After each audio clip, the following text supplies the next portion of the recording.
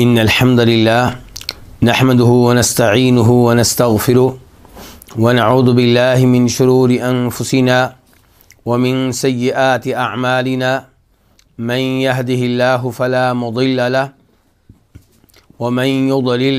फला हादिय लह वअशहदु अन ला इलाहा इल्लल्लाहु वहदहु ला शरीक लह वअशहदु अन्न मुहम्मदन अब्दुहु व रसूलुहु या अय्युहल्लदीन आमनुत्तकुल्लाह हक़ तुक़ाति वला तमूतुन्न इल्ला व अंतुम मुस्लिमून या अय्युहन्नासुत्तकू रब्बकुमुल्लदी खलक़कुम मिन नफ्सिन वाहिदा व खलक़ मिनहा ज़ौजहा वबत्थ मिनहुमा रिजालन कतीरन व निसाआ वत्तकुल्लाहल्लदी तसाअलून बिही वल अरहम इन्नल्लाह कान अलैकुम रक़ीबा या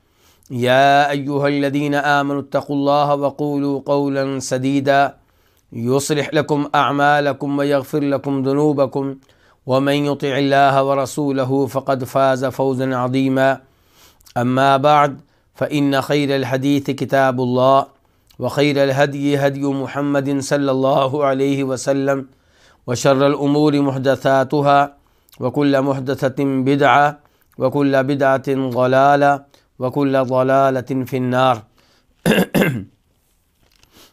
अलवाफ़ी बिमाफ़ि सहीहैन सही बुखारी सही मुस्लिम की अहादीस पे मुश्तमिल एक अजीम किताब। किताब दस मकासद में तकसीम है। उनमें से उनमें से पाँचवा मकसद, अलहाजात ज़रूरिया। इंसान की ज़रूरी हाजात, लाजमी हाजात। इस मकसद में तीसरी किताब अतिब वर्रुया ये तिब के मसाइल के बारे में है और ख्वाबों के बारे में है। और इसमें पहली फ़सल पहली फ़सल अलमर्दा मरीज़ों के बारे में है। और इस पहली फ़सल में दूसरा बाब सवाबुलमिनी फ़ी मा युसीबू। मोमन पे जो मुसीबतें आती हैं, उस पे उसे सवाब मिलता है। इस बारे में ये बाब है। और इस बाब की तीन हदीसें हम पढ़ चुके हैं। आज इस बाब की चौथी हदीस का आगाज़ करेंगे, जो किताब के लिहाज से हदीस का, हदीस है बारह सौ दो वन टू ज़ीरो टू मीम। इस हदीस को अपनी किताब में जगह देने वाले इमाम इमाम मुस्लिम राहिमहुल्लाह हैं। अनजाबिर इबन अब्दुल्ला रवायत है जनाब जाबिर बिन अब्दुल्ला रदी अल्लाह तमा से रसूल अल्लाह वसल्लम दखल, कि बेशक रसूल अलैहि वसल्लम दाखिल हुए।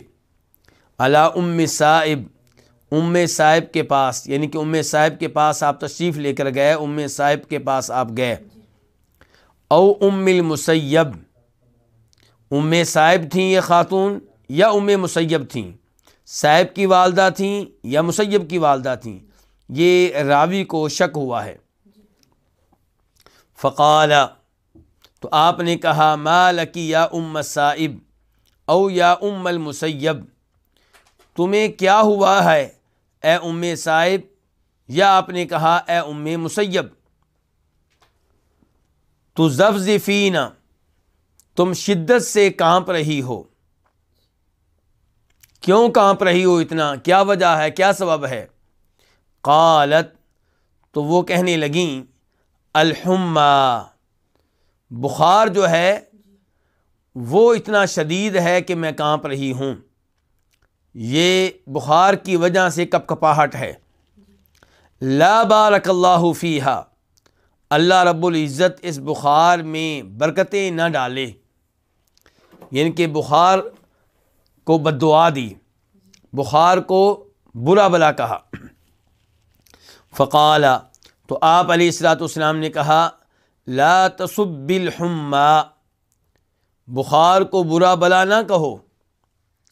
फ़िन्नहा तुदहिब ख़ताया बनी आदम, क्योंकि बुखार औलाद आदम के गुनाहों को ख़त्म कर देता है, उन्हें ले जाता है। कमा युद्धबुल कीर खबसल हदीद, जैसे बट्टी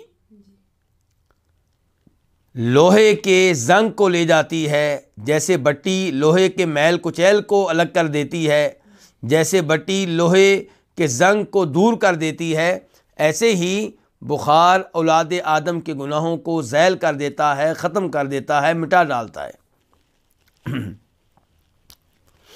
तो इस हदीस से मालूम हुआ कि बुखार, अगर सहब बुखार मोमन हो और सब्र करने वाला हो, शिकवा करने वाला ना हो, बुखार आने पे अल्लाह की ज़ात पे कोई इतराज़ करने वाला ना हो तो ये बुखार उसके गुनाहों को मिटा डालता है, ख़त्म कर डालता है, गुनाहों से पाक साफ़ हो जाता है। इसीलिए नबी सलाम जब किसी मरीज़ की यादत के लिए जाते थे तो ये अल्फाज कहते थे ला बसा तहूर इन कोई मसला नहीं। टेंशन ना लेना, परेशान ना होना। ये बीमारी तुम्हें पाक साफ़ कर देगी। तो इसलिए अगर किसी पे कोई बीमारी हमला करती है, अगर कोई इंसान बार बार बुखार में मुबतला हो जाता है, अगर किसी को बार बार सर दर्द का सामना रहता है और उसे सब्र की तोफ़ी भी मिलती है तो ये आजमाइशें, ये मुसीबतें, ये तकलीफ़ें उसके दर्जात की बुलंदी का सबब और ज़रिया बनेंगी। गुनाहों के जड़ने का और मिटने का सबब और ज़रिया बनेंगी। तो इससे पता चला कि मोमन पे आने वाला बुखार और मोमन पे आने वाली मुसीबतें उसके लिए बायस अजर सवाब हैं और इसमें उसका कोई नुकसान नहीं है। वो अलग बात है कि हम कमज़ोर हैं और ख़तरा होता है कि बीमारी पे सब्र शायद ना कर सकें। इसलिए अल्लाह रब्बुल से दुआ करते रहना चाहिए कि अल्लाह इन बीमारियों से महफूज रखे। लेकिन जब कभी आजमाइश आ जाए, बीमारी आ जाए, मुसीबत आ जाए तो फिर सब्र का मुजाहरा करना चाहिए और देखना चाहिए उन अजीम लोगों की तरफ़ जिन्होंने मसायब पे सब्र का मुजाहरा किया। अम्बिया कलाम आलिमसलाम अलिया कलाम आलिमसलाम ये था दूसरा बाब कि मोमन पे मुसीबतें आएँ तो उसे अजर सवाब मिलता है। और अब चौथा बाब, ये बाब क्या है? बाब युग तबूलमरीज़ी मा कान यामल। मरीज़ के लिए वही अमाल लिखे जाते हैं जो वो किया करता था। क्या मतलब? कि मरज़ की वजह से अगर वो कई ऐसे नेक अमाल बजा लाने से कासर है, जो सेहत और तंदरुस्ती के अयाम में बजा लाया करता था तो उसे अल्लाह के फजल करम से, अल्लाह की रहमत से बीमारी के अयाम में उन अमाल का सवाब मिलता रहेगा, जो अब बीमारी की वजह से नहीं कर पाता, दिल करता है, नीयत मौजूद है, इरादा मौजूद है। हदीस नंबर बारह सौ तीन वन टू ज़ीरो थ्री खा। इस हदीस को रवायत करने वाले इमाम इमाम बुखारी रहीमहुल्लाह हैं। अन अबी मूसल अशारी रवायत है जनाब अबू मूसा अशारी से। इनका नाम क्या है? अब्दुल्ला बिन कैस। और बुनियादी तौर पे कहाँ के थे? यमन के। और ये पचास के करीब लोगों का काफ़िला लेकर नबी अलैहिस्सलाम की तरफ़ आने के लिए निकले थे। लेकिन समुद्री रास्ता इन्हें कहाँ ले गया था? हफ्शा में ले गया। और वहाँ जाफ़र तैयार मिल गए। तो उनके साथ वहाँ पे कई साल रहे। और फिर जब खैबर फ़तह हुआ, तकरीबन सन सात हिजरी के करीब करीब, तब ये मदीना आए और फिर नबी अलैहिस्सलाम के साथ रहने का मौका मिला। तो अबू मूसा शरी से रवायत है, वो कहते हैं, क़ाद रसूल सल्लल्लाहु अलैहि वसल्लम। फरमाया, रसूलुल्लाह सल्लल्लाहु अलैहि वसल्लम ने, इदा मरिदल अब्दु औसाफ़र कुतिब लहू मिथलु माकान यामल मुकीमन सहीहन। जब कोई बंदा बीमार हो जाए, और यहाँ किस बंदे की बात हो रही है? मोमन बंदे की। जब कोई बंदा बीमार हो जाए, यानी कि मोमन बंदा बीमार हो जाए औसाफरा, या हालत सफ़र में हो। तो कुती बलहू मिथलु माकान यामल मुकीमन सही हन उसके लिए लिखे जाते हैं, वैसे अमाल, जैसे अमाल वो तब किया करता था, जब वो मुकीम था, मुसाफिर नहीं था, जब वो तंदुरुस्त था, बीमार नहीं था। यहाँ मरीज़ से मुराद वो मरीज़ है जो बीमारी आने से पहले बहुत से नेक अमाल सर अंजाम दिया करता था। और अब क्यों नहीं सर अंजाम दे पाता? बीमारी की वजह से। नीयत ख़राब नहीं हुई? नीयत अब भी पुख्ता है, दिल अब अब अब भी चाहता है। और अफसोस है उसे कि मैं बीमारी की वजह से वो तलावत नहीं कर पा रहा जो पहले किया करता था। वो नफल मुझसे नहीं पढ़े जा रहे जो पहले पढ़ा करता था। फ़र्द नमाज़ पहले मैं खड़े होकर पढ़ा करता था, अब बैठ के पढ़ रहा हूँ, लेट कर पढ़ रहा हूँ, वज़ू करके पढ़ा करता था, अब मैं तयम कर रहा हूँ। तो अमल में कमी आई है, लेकिन सवाब में कमी नहीं आएगी। ये अल्लाह रब्बुल इज़्ज़त का फजल करम है। ये अल्लाह की रहमत है। कौन है जो ये मामला इंसान के साथ करे और हमेशा हमेशा के लिए करे? हुकूमतें अगर किसी मरीज़ से ताउन करती भी हैं तो हमेशा हमेशा के लिए नहीं। और सब मरीज़ों से नहीं। अल्लाह रब्बुल इज़्ज़त का हर उस मरीज़ के लिए ऐलान है जो तोहीद पे हो और ईमान लाने वाला हो। वो मरीज़ पाँच साल रहे या दस साल रहे या पंद्रह साल रहे या बीस साल रहे। और अमाल जितने भी तरक्ये हों, सब की तनख्वाह मिलती रहेगी। सबका जरो सवाब मिलता रहेगा। तो ये भी खुशखबरी है किसके लिए? मरीज़ के लिए।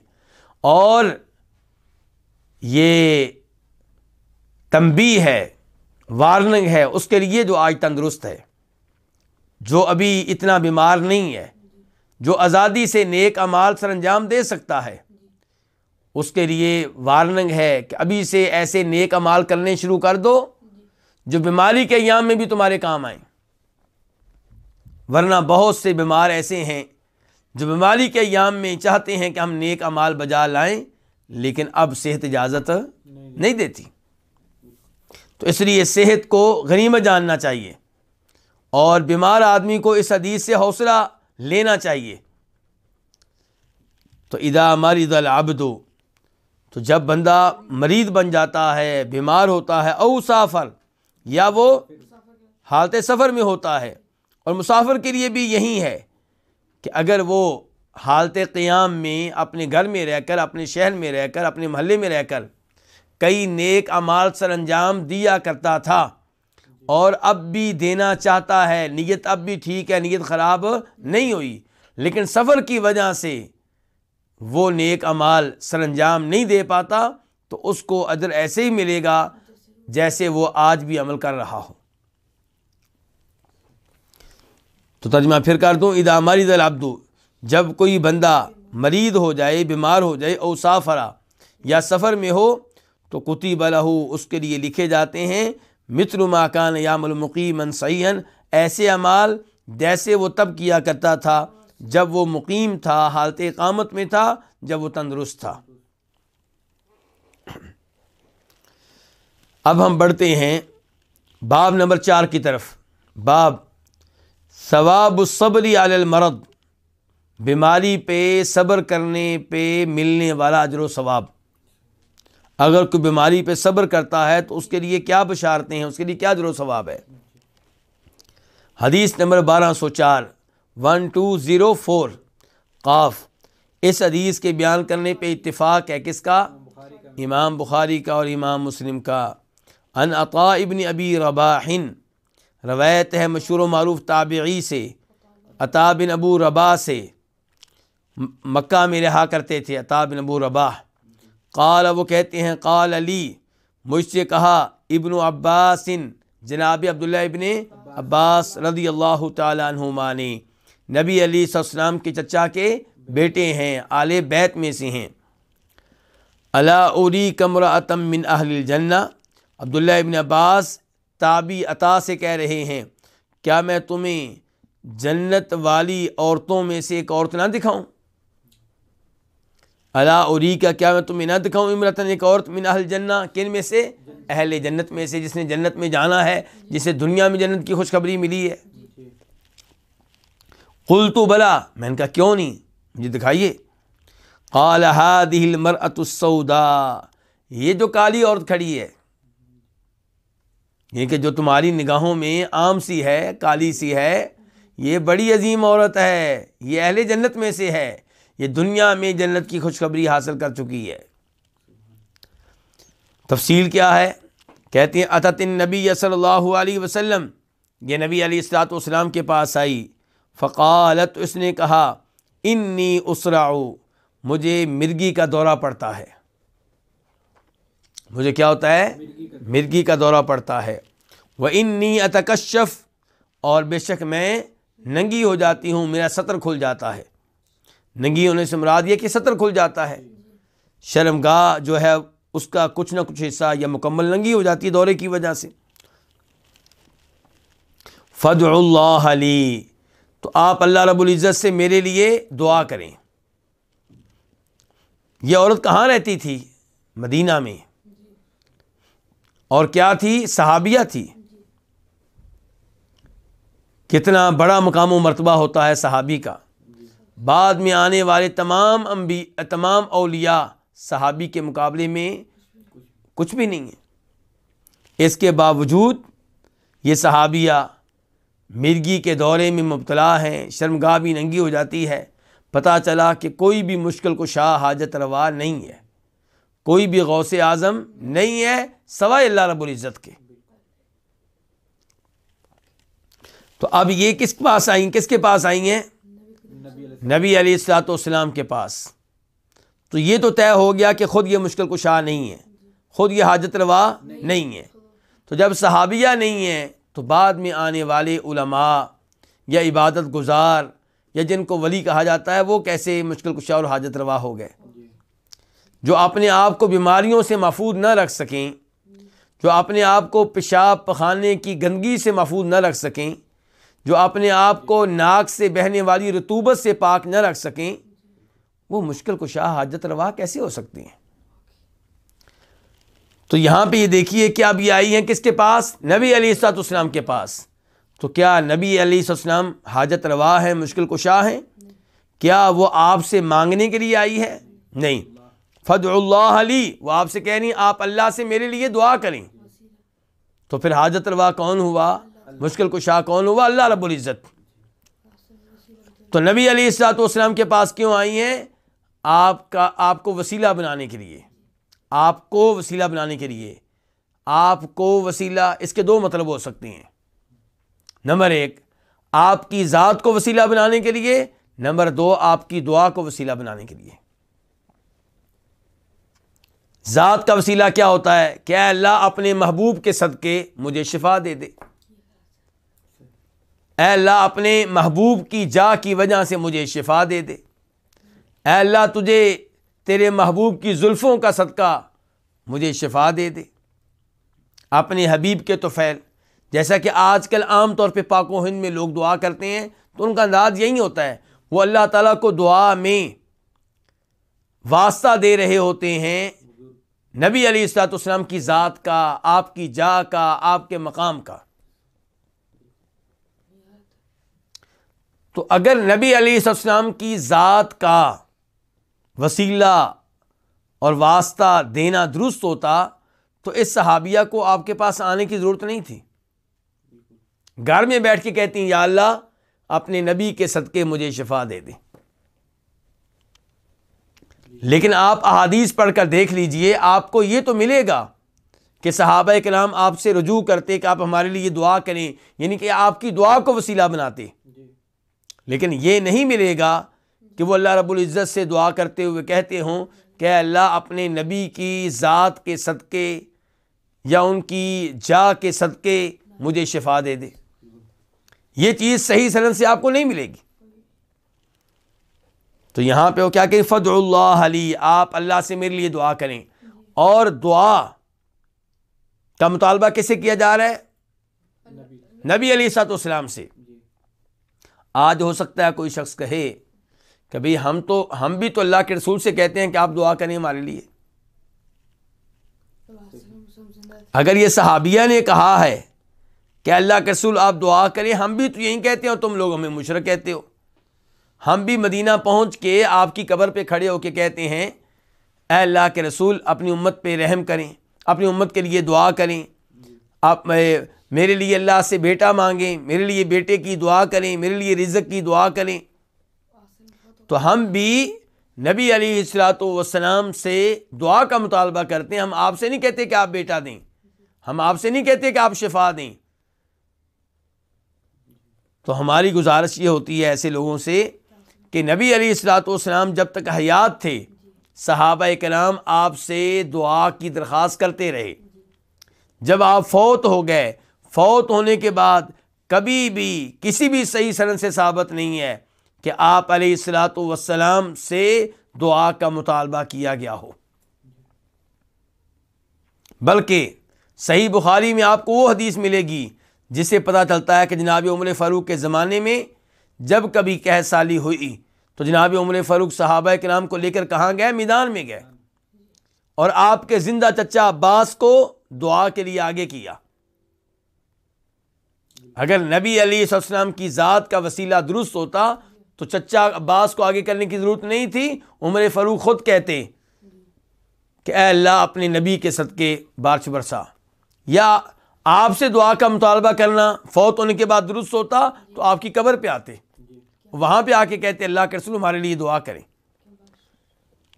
लेकिन जनाब उमर फ़ारूक ने वही तरीका इख्तियार किया जो तरीका अल्लाह के रसूल ने अपनी ज़िंदगी में इख्तियार किया था। तो यहाँ पे फ़दुल्लाली आप मेरे लिए अल्लाह से दुआ करें। तो ये वास्ता बनाया जा रहा है किसको आपकी दुआ को जबकि आप ज़िंदा थे। फ़का काला तो आपने कहा, इनशी सबर वाला किल जन्ना। अगर तुम चाहो तो तुम सब्र करो। किस पे? इस बीमारी पे। वाला किल जन्ना और तुम्हें क्या मिलेगी? जन्नत मिलेगी। व इनशी दाऊत आफ़ियक और अगर चाहो तो मैं अल्लाह से दुआ कर देता हूँ कि अल्लाह तुम्हें आफ़ियत दे। तरगीब आप क्या दे रहे हैं? सब्र की। बीमारी आई है, बीमारी पे सब्र करो, मिलेगा क्या? जन्नत। अल्लाह रब्बुल इज़्ज़त से दुआ यही करनी चाहिए कि आजमाइशें ना आए। लेकिन जब कभी आजमाइश आ जाए तो ये हदीस जेन में लेकर आए कि आपकी बीमारी जो एक साल पे मुश्तमिल है, पाँच साल पे मुश्तमिल है, दस साल पे मुश्तमिल है, इस पर अगर सब्र करें, इसके बदले में जन्नत मिल जाए तो और क्या चाहिए?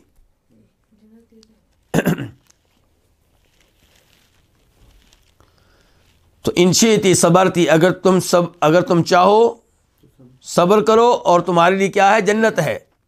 वह इनशी दाऊतुल्लाफ़ियक और अगर तुम चाहो तो मैं अल्लाह से दुआ करूँगा कि अल्लाह ताला तुम्हें क्या दे?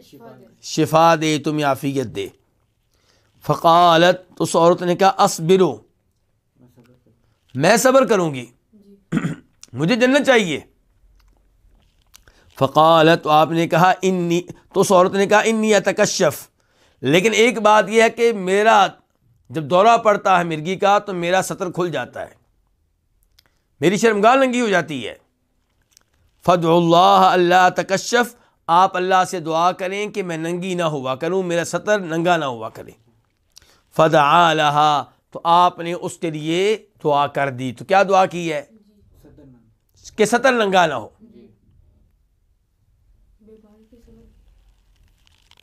और इससे आप ये अंदाज़ा लगाएँ कि ये सहाबिया किस कदर शर्म हया की मालिक हैं। नहीं चाहती कि उनके जिसम, उनका जिसम नंगा हो। नहीं चाहती कि उनका जिसम दूसरे लोग देखें। और आज की औरत क्या कहती है? मेरा जिसम मेरी मर्ज़ी। आज की औरत, सब औरतें ऐसी नहीं हैं, लेकिन बहुत सारी औरतें, वो यूँ लगता है कि जैसे अपने लिबास से बाहर निकलना चाहती हूँ। जबकि यहाँ फ़िक्र किसकी है? शर्म व हया की फ़िक्र किसकी है? जिसम को छुपाने की। तो ये है बीमारी पे सब्र करने का सवाब। अता बिन अबू रबाह, जो इस हदीस के रावी हैं, वो कहते हैं कि ये ख़ातून जो थी, इन्हें उम्म ज़ुफ़र कहा जाता था। लंबे कद की मालिक थी सिया रंग की थी, मैंने इन्हें काबा के पास देखा था। उसके बाद बाब नंबर चार, बाब सवाबु मन जहबा बसरु। ये बाब है उस शख्स के सवाब के बारे में जिसकी निगाह चली गई हो, जिसकी निगाह ख़त्म हो गई हो, जिसकी निगाह अल्लाह ने वापस ले ली हो। हदीस नंबर बारह सौ पाँच पाँच। One two zero five. खा। इस हदीस को अपनी किताब में जगह देने वाले इमाम इमाम बुखारी रहमहुल्लाह हैं। अन अनस बिन मालिक रदी अल्लाह क़ाल, रवायत है जनाब अनस बिन मालिक रदी अल्लाह तन से वो कहते हैं समेतनबी सल्लल्लाहु अलैहि वसल्लम यकूल, मैंने नबी अलैहिस्सलाम से सुना क्या फरमा रहे थे? इन अल्लाह क़ाल कि बेशक अल्लाह ताला ने फरमाया ईदब तलई तो अबदी बी हबीब तई फ़बर जब मैं अपने बंदे को आज़माऊँ। जब अपने बंदे को मैं आज़माऊँ, उसे आजमाइश में मुबतला करूँ, किसके साथ? बी हबीब ही उसकी दो महबूब तरीन चीज़ें लेकर। और वो क्या हैं? आँखें। वो क्या हैं? निगाहें। जब मैं अपने किसी बंदे का इम्तिहान लूँ, भी हबीब ही, उसकी दो महबूब तरीन चीज़ें लेकर, फसबरा तो वो क्या करे? वो सब्र करे। तो अवत मिनहुमा अलजन्ना तो मैं उसको इनके बदले में क्या दूँगा? जन्नत दूँगा। युरीदू, जनाब अनस बिन मालिक कहते हैं कि नबी अली सलाम की मुराद क्या थी? आई नई ही उसकी दोनों आँखें। यानी कि जब आपने कहा ना कि बेशक अल्लाह ताला कहते हैं, जब मैं अपने बंदे का उसकी दो महबूब तरीन चीज़ों के ज़रिए इम्तिहान लूँ तो वह सब्र करे तो महबूब तरीन चीज़ों से मुराद क्या है? उसकी दोनों आँखें। इनके नबी सलाम महबूब तरीन चीज़ों से मुराद दो आँखें ले रहे थे। और ये भी बहुत बड़ा इनाम है। बहुत बड़ा जो सवाब है कि आप देखने की लज्जत से महरूम हो गए लेकिन देखने की लज्जत आर्जी थी कि हमेशा हमेशा के लिए थी? आर्जी थी। उसके बदले में आपको हमेशा हमेशा की नेमत जन्नत मिल रही है। तो सौदा महँगा नहीं, नहीं है। दुआ यही करनी चाहिए कि अल्लाह ताला किसी भी बीमारी में वबा में मुबतला ना करे। लेकिन जब बीमारी आ जाए तब ये अहादीस हमारे सामने रहनी चाहिए और हमें सब्र करना चाहिए आने वाले इन मसाइब पे। तो ये सवाब था उस शख्स का जिसकी निगाह चली गई जिसकी निगाह ख़त्म हो गई। उसके बाद है बाब नंबर छ बाब इयादतुलमरीदी व दुआ उला। मरीद की इयादत करना और उसके लिए क्या करना। दुआ करना। हदीस नंबर बारह सौ छ वन टू ज़ीरो सिक्स काफ। इस हदीस को रवायत करने वाले इमाम कौन है? इमाम बुखारी। इमाम बुखारी और इमाम मुस्लिम दोनों। खाफ से मुराद का इत्तेफाक। दोनों का क्या हो गया? इस हदीस के बयान करने पे इत्तेफाक हो गया। अन आयशत रदी अल्लाह रवायत है उम्मिन आयशा रदी अल्लाह से। अन्न रसूल अलैहि वसल्लम कान के बेशक रसूल अलैहि वसल्लम कान इदा अता मरीदन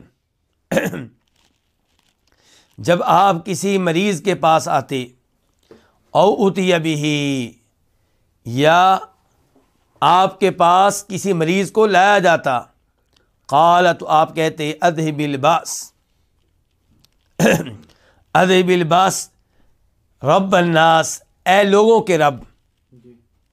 रबन्नास ए लोगों के रब। यानी कि रबन्नास से पहले आप यूँ समझें कि या जो है वो महजूफ है। अल्फाज में मौजूद नहीं है लेकिन जो अरबी ज़बान के कवायद से वाकिफ़ हैं वो जानते हैं कि इससे पहले या है। क्या? यानी कि या रबन्नास तो ए लोगों के रब अदहिबिल बास। बास असल में क्या है? बास। बीमारी ले जा। ए लोगों के रब बीमारी उठा ले बीमारी ले जा बीमारी को ख़त्म कर दे। इश्फ़ी व अंत शाफ़ी। शिफा दे और तू ही शिफा देने वाला है। अंता जो है ये मारफा है। और अशाफ़ी जो ख़बर है वो भी क्या है? मारफा। जब ख़बर भी मारफा हो मुबतदा तो पहले ही मारफा है तो फिर माना हसर का पैदा हो जाता है कि तू ही शफा देने वाला है। इशफ़ी शफा दे, व अंत शाफ़ी, और तू ही शफा देने वाला है। ला शिफा अल्ला शिफा उक तेरे शिफा के अलावा कोई शिफा नहीं है। शिफा वही जो तेरी तरफ़ से हो। कोई और शिफा दे नहीं सकता। यानी कि डॉक्टरों के हाथ में शिफा नहीं है। वो तदबीर कर सकते हैं, वो कोशिश कर सकते हैं, वो इलाज कर सकते हैं, वो दवाई दे सकते हैं। लेकिन शफा तभी मिलेगी जब अल्लाह चाहेगा। अल्लाह नहीं चाहे चाहेगा तो शफा नहीं मिलेगी। और यही कुछ कहा जा रहा है यहाँ पे कि अदबिलबास रब्बन्नास ए लोगों के रब अदबिलबास बीमारी ले जा, इशफ़ी शिफा दे, व अंत शाफ़ी, और तू ही शिफा देने वाला है। ला शिफा अल्ला शिफा उक तेरी शिफा के अलावा कोई शिफा नहीं है। शिफा अल्लाह युगादुलसक़मा ये जो शिफा अन का लफज है, इसका ताल्लुक़ है इशफ़ी से। यूँ समझा जाए कि इशफ़ी और शिफा के दरमियान जो दो जुमले हैं, ये जुमला मोतरदा हैं। तो कलाम यूँ होगा कि इशफ़ी शिफा अन अल्लाह तो ऐसी शिफा दे कि ला युगादुलसक़मा ऐसी शिफा जो कोई बीमारी बाकी ना रहने दे।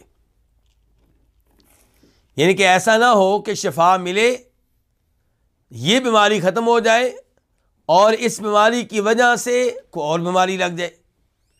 नहीं अल्लाह ऐसी शफा दे, ला युगादलसकमा जो किसी भी मर्ज़ को रहने ना दे, जिसके बाद कोई भी मर्ज़ मौजूद ना रहे।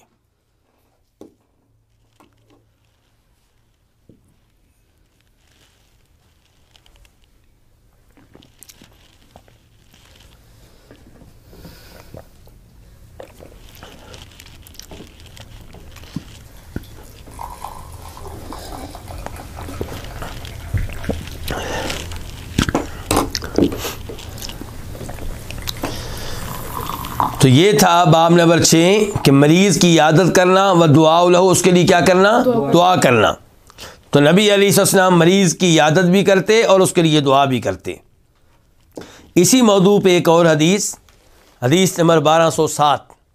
One two zero seven. खा। इस हदीस को रवायत करने वाले इमाम कौन है? इमाम बुखारी। अन अनस रदी अल्लाह काल रवायत है जनाब अनस बिन मालिक रदी अल्लाह तन से काल वो कहते हैं कान ग़ुलाम यहूदी यखदमनबी सल्लल्लाहु अलैहि वसल्लम फमरिदा एक यहूदी ग़ुलाम था एक यहूदी लड़का था ग़ुलाम से मुराद क्या है लड़का क्योंकि अरबी में जो ग़ुलाम लफ्ज़ होता है इससे आम तौर पे मुराद लड़का होता है और कभी कभी इससे मुराद क्या होता है? ग़ुलाम, जिसको हम उर्दू में ग़ुलाम कहते हैं। तो एक यहूदी लड़का था यखदमनबी सल्लल्लाहु अलैहि वसल्लम। वो आप सलाम की क्या किया करता था? खिदमत। फमारीदा तो क्या हो गया? बीमार हो गया। सल्लल्लाहु अलैहि वसल्लम। तो उसके पास नबी सलाम आए। यऊदहू, इस हाल में कि आप उसकी यादत कर रहे थे। आने का मकसद क्या था? उसकी यादत करना। इससे क्या पता चला कि काफरों की भी यादत करना जायज़। है। आपका पड़ोसी आपका रिश्तेदार जो। मुसलमान नहीं है आप उसकी यादत करेंगे। यादत करने की इस्लाम इजाज़त देता है बल्कि हमारे नबी की सुन्नत है सल्लल्लाहु अलैहि वसल्लम। हो सकता है आपका यादत करना उसके दीन इस्लाम कबूल करने का सबब बन जाए। जब आप उसके पास बैठ के उसे अपने नबी की तालीमात बताएँगे सल्लल्लाहु अलैहि हो सकता है कि आप उसे बर रास्त इस्लाम कबूल करने की दावत ना दे सकें। लेकिन आप बैठे बैठे अपने नबी की चंद बातें ज़रूर कह सकते हैं, सल्लल्लाहु अलैहि वसल्लम। जी, मैं आया हूँ आपकी आदत करने के लिए, आपको पूछने के लिए। एक तो इसलिए कि आप मेरे दोस्त हैं, एक तो इसलिए कि आप मेरे पड़ोसी हैं, या एक तो इसलिए कि आप मेरे रिश्तेदार हैं, और एक इसलिए कि हमारा दीन भी यही कहता है। हमारे नबी अली सलाम उनकी भी आदत करते थे जो मुसलमान नहीं थे। जब ये अल्फाज आप कहेंगे, उसके दिल में इस्लाम के बारे में अच्छे जज्बात पैदा होंगे। नबी अली सलाम के बारे में उसके दिल में अच्छे जज्बात पैदा होंगे। तो ये भी खामोश तबलीग है। आप बर रास्त उसे नहीं कह रहे कि मुसलमान हो जा। लेकिन आप जो असरात छोड़कर जा रहे हैं, इनकी वजह से वो इस्लाम के बारे में सोचेगा। इस्लाम का पैगाम जानने की कोशिश करेगा। तो नबी अलैहिस्सलाम आए, यहूद हो, किस आए? उसकी यादत इस हाल में कि आप उसकी यादत कर रहे थे। फ़क़ाद आइंदा रसी ही तो आप बैठ गया उसके सर के पास। फ़क़ाल लहू तो आपने उससे कहा, असलिम, क्या हो जा? मुसलमान हो जा। इस्लाम कबूल कर लो। आप बर रास्त कह रहे हैं, क्योंकि वो लड़का नबी अलैहिस्सलाम की खिदमत किया करता था।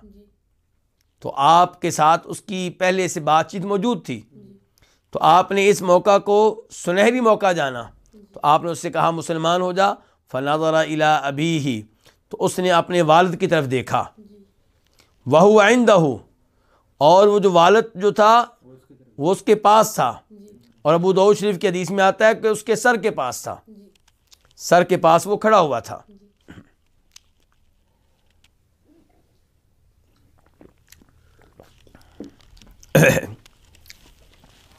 फ़क़ाल लहू तो आपने उससे कहा, अत अबल कासिम सल्लल्लाहु अलैहि वसल्लम। अबल कासिम सल्लल्लाहु अलैहि फ़क़ाल लहू, यानी कि उस यहूदी लड़के के बाप ने उस यहूदी लड़के से कहा, अत अबुल कासिम अबुल कासिम, अब, अबुल कासिम सल्लल्लाहु अलैहि वसल्लम की इतात करो। सल्लल्लाहु अलैहि वसल्लम के अल्फाज उसने नहीं कहे। ये हम कह रहे हैं कि अबुल कासिम सल्लल्लाहु अलैहि वसल्लम की इतात करो इनकी बात मान लो। फ़सलमा चुनाचे वो लड़का क्या हो गया? मुसलमान। हो गया। फ़ारजन नबी सल्लल्लाहु अलैहि वसल्लम तो नबी अली सलाम निकले। वह यकूल इस हाल में कि आप कह रहे थे अल्हम्दुलिल्लाहिल्लज़ी अनक़दहु मिनन्नार तमाम तरीफ़ें उस अल्लाह के लिए जिसने इसको जहन्नम की आग से बचा लिया।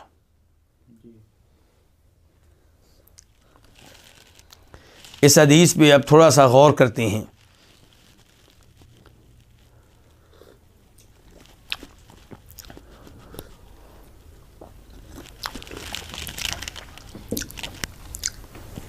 आप अली सलाम की खिदमत करने वाला कौन था? यहूदी लड़का। गैर मुस्लिम। इससे पता चला कि गैर मुस्लिम से आप खिदमत ले सकते हैं। और उससे इस किस्म का ताल्लुक़ आप रख सकते हैं। लेकिन आपके दिल में काफरों के लिए, गैर मुस्लिमों के लिए मोहब्बत नहीं होनी चाहिए।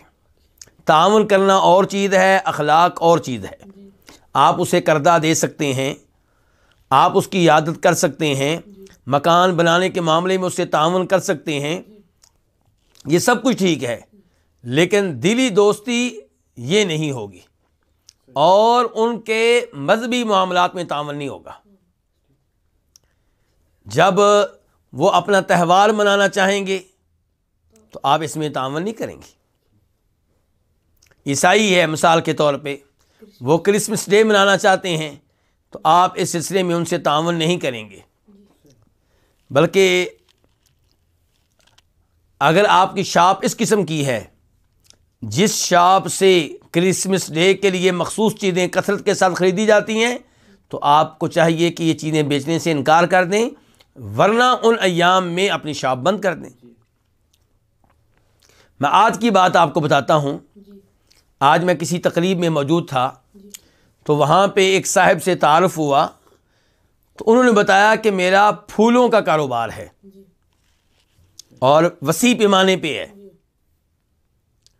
तो बात जब आगे चली तो उनसे किसी ने कहा कि वो दिन आने वाला है जिन दिनों में ए, वो क्या कहते हैं उसको वैलेंटाइन डे वो दिन आने वाला है जिन दिनों में यानी कि मोहब्बत का दिन मनाया जाता है और ये लड़की लड़के स्कूलों के कॉलेजों के गैर शरी काम करते हैं एक दूसरे को फूल तोहफे के तौर पे देते हैं।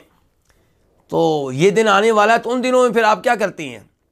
उन्होंने कहा कि हम उन दिनों में अपना ये कारोबार बंद कर देते हैं।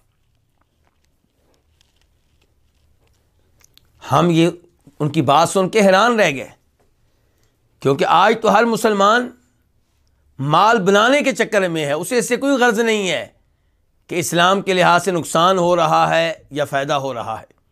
हराम का माल है कि हलाल का माल है? और ये उन अयाम में, वो हफ़्ता, जिस हफ़्ते में फूलों का कारोबार अपने उरूज पे होगा, उसमें वो कह रहे हैं कि हम बंद कर देते हैं। तो बाकी लोगों को इबरत हासिल करनी चाहिए। जिन लोगों की मिसाल के तौर पे स्वीट्स की शॉप होती हैं, बेकरी की शॉप होती है, और वो केक बेचते हैं इन दिनों में, या ऐसा सामान बेचते हैं जो मजहबी मामले में इस्तेमाल होना होता है और उनको यकीन भी होता है तो इन चीज़ों का ख्याल रखना चाहिए। तो एक यहूदी गुलाम जो था, वो आपकी खिदमत करता था, बीमार हो गया तो आप उसकी यादत के लिए गए। तो यादत के बारे में पहले बात हो चुकी है कि यादत करनी चाहिए। और ये भी यहाँ से साबित हुआ कि यादत बराए यादत ना हो। आपका ताल्लुक गैर मुस्लिम से सिर्फ़ अपने फ़ायदे के लिए ना हो कोशिश करें कि इस्लाम का मुस्बत पैगाम आप उसके दिल में दाखिल करें। इस्लाम की मोहब्बत आप उसके दिल में दाखिल करें। इसके लिए कोई ना कोई अंदाज आप इख्तियार करें। वो आप बेहतर जानते हैं कि आप इसके साथ कौन सा अंदाज इख्तियार कर सकते हैं। आप देखें, आप इयादत के लिए गए हैं तो आपने उस बच्चे से कह दिया कि, बेटा, मुसलमान हो जाओ, कलमा पढ़ लो। और उसने कलमा पढ़ लिया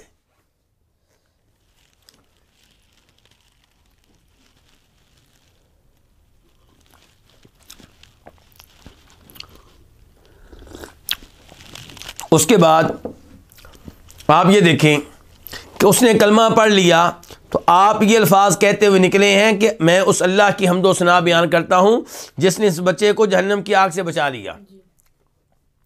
क्या आपने ये कहा कि मैंने इसको जहन्नम की आग से बचा लिया है? आपने इस अजीम बात को अपनी तरफ़ मंसूब नहीं किया। किसकी तरफ़ मंसूब किया है? तो हर नेमत किसकी तरफ़ से? अल्लाह की तरफ़ से। दिलों में ईमान दाखिल करने वाला कौन है? अगर नबी अली सलाम के बस में होता तो आप अपने चचा अबू तालब को मुसलमान कर लेते। उनके पास भी तो आप उसी वक्त गए थे जब वो फौत होने वाले थे। कहा था, या अम्मिकुल्ला कली मतन हाजुलका बिहा इंदल्ला चचा, आप कलमा पढ़ लें, मैं आपकी शफात करने के काबिल हो जाऊँगा। लेकिन चचा ने कलमा नहीं पढ़ा। और यहाँ पे आपने तबलीग की है और वो बच्चा मुसलमान हो गया है तो असल कौन है? अल्लाह रबुल्ज़त नबी अलैहिस्सलाम सबब हैं। तो इसलिए आपने अल्लाह का शुक्र अदा किया है और कहा है कि मैं तम, तमाम तरीफ़ें उस अल्लाह के लिए जिसने इसको जन्नम की आग से बचा लिया है। इस हदीस से एक मसला और मालूम हुआ वो ये कि बच्चे को तबलीग करना बिल्कुल ठीक है और बच्चा मुसलमान हो जाए तो बहुत अच्छी बात है। बच्चे का मुसलमान होना काबिल कबूल होगा।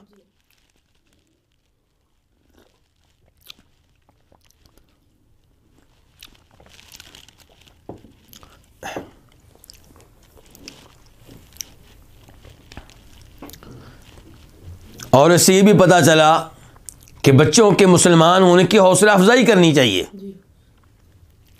अफसोस से कहना पड़ता है कि बाद इस्लामी ममालक में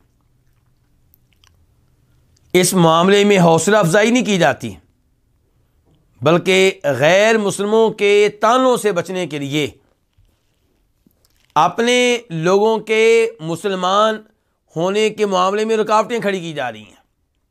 ऐसे कवानीन बनाए जा रहे हैं कि अगर कोई बच्चा जनाब वाला सोलह साल से पहले मुसलमान हो जाए या चौदह चौदह साल से पहले मुसलमान हो जाए तो इतनी आसानी से उसको मुसलमान नहीं माना जाएगा। उसको उसके वालदेन से अलग, लोगों से अलग दारुलमान में रखा जाएगा, इतना अरसा रखा जाएगा, फिर उसको कोर्ट में पेश किया जाएगा, फिर उससे पूछा जाएगा, तुम्हारे ऊपर कोई प्रेशर तो नहीं है। ये तो यानी कि आप लोगों को मुसलमान उनसे रोकना चाहते हैं। तो ये अफसोसनाक सूरत हाल है। उसके बाद हदीस नंबर बारह सौ आठ वन टू ज़ीरो एट मीम। इस हदीस को रवायत करने वाले इमाम कौन है? इमाम मुस्लिम।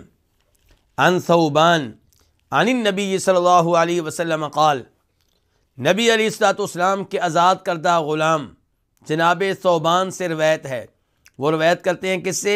नबी सल्लल्लाहु अलैहि वसल्लम से कि आपने फरमाया इन मुस्लिम इदा आद खाहुल मुस्लिम।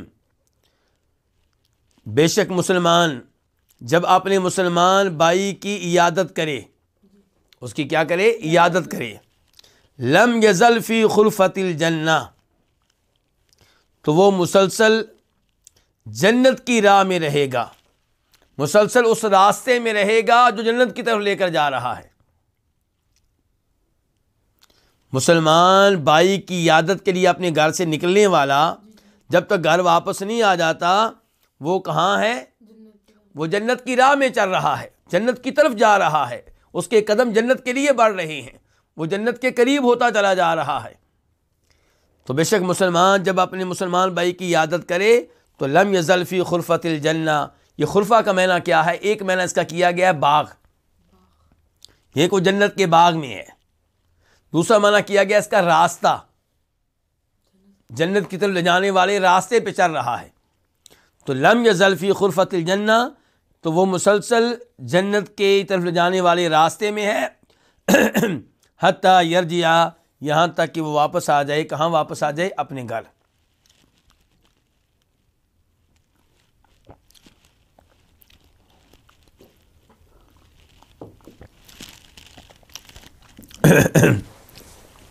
वफ़ी रिवायातिन, और एक रिवायत में है।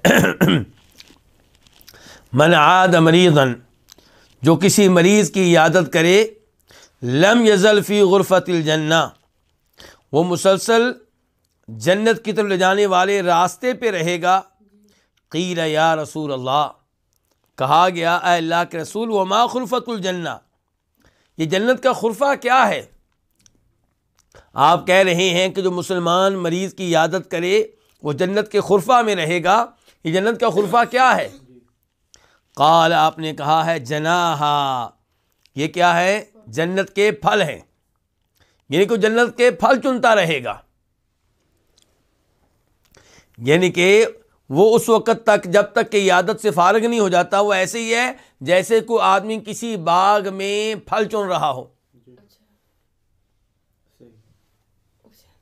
तो ये क्या चुन रहा है? ये सवाब चुन रहा है सवाब कमा रहा है नेकियाँ कमा रहा है जन्नत के करीब हो रहा है जहन्नम से दूर हो रहा है।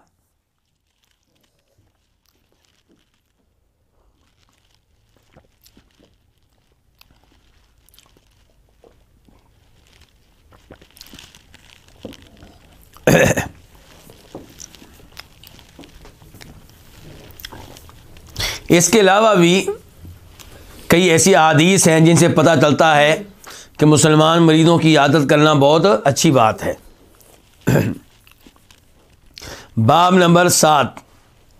बाब, कराहत तमन्निल मौत। मौत की तमन्ना करने की कराहत। मौत की तमन्ना करने की कराहत। मौत की आरज़ू, मौत की ख्वाहिश करना। हदीस नंबर बारह सौ नौ वन टू ज़ीरो नाइन काफ, इस हदीस के बयान करने पे इत्तेफाक है किसका? इमाम बुखारी का और इमाम मुस्लिम का।